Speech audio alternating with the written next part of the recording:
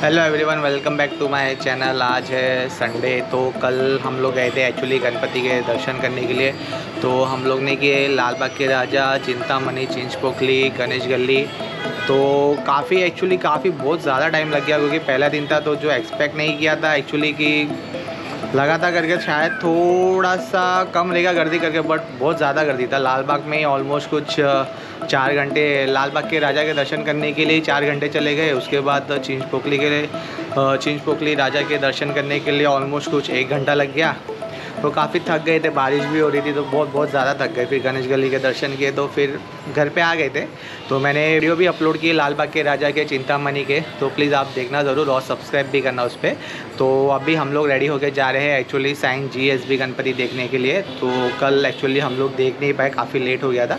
तो घर पर आ गए थे। तो अभी हम लोग जा रहे हैं, अभी बज रहे शाम के साढ़े तो अभी हम लोग निकल रहे हैं।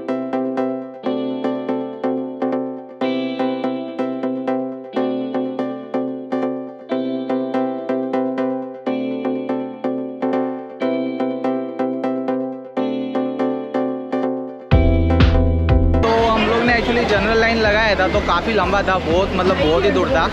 तो इसके लिए मैंने ऑनलाइन सेवा का बुकिंग करके पे करके निकाला है। तो डायरेक्टली जो है लाइन पास वाला लाइन मैंने निकाला है, सेवा का बुकिंग करके।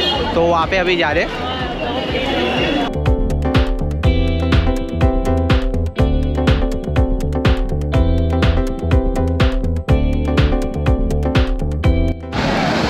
ओके तो ये हम लोग ने स्कैनर करके, हम लोग ने पास निकाला है। तो उसके थ्रू यहाँ पे डायरेक्ट लाइन जाने दे रहे तो इसमें मेरे ख्याल से आधा घंटा लगेगा दर्शन करने के लिए।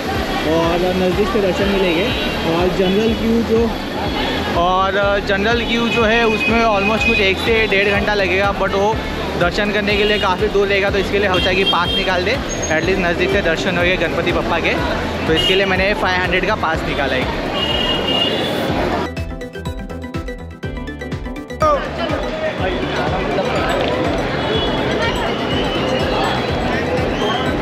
है तो हम लोग अंदर आ गए अभी।